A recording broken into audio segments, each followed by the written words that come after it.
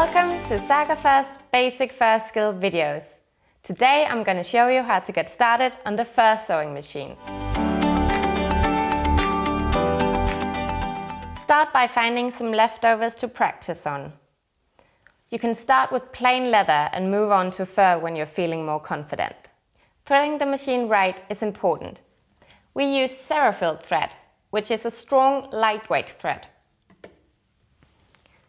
Start threading your machine by taking your thread and wrapping it around here.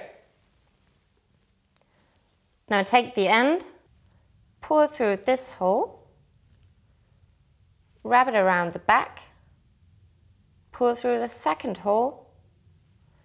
Now we want it to go under the hook and into the tension. Now we wrap it here now go under the hook, over the screw, and now we want the thread to go into this little notch. So open up,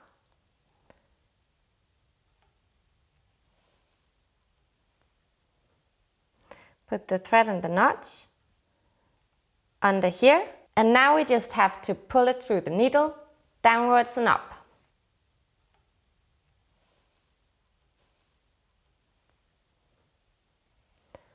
Pull the needle back, and you're done. Don't be upset if the needle breaks. It happens.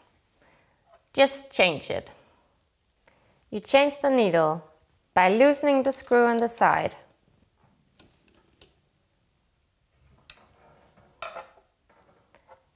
Take your tweezers and remove the old needle. When you put the new needle in, it's important that you have the long ridge facing down.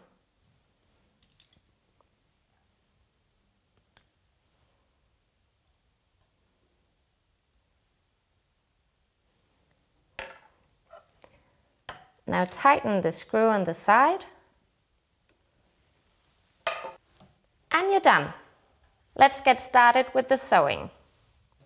Pick up your fur and fold down the hairs.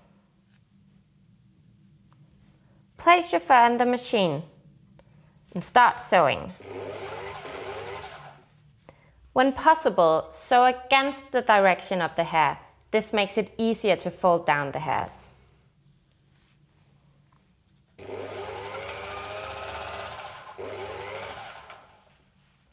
The machine uses a lock stitch which means we don't have to tie off the end when we stop. Just pull back the needle, take a little extra thread, open up and pull down.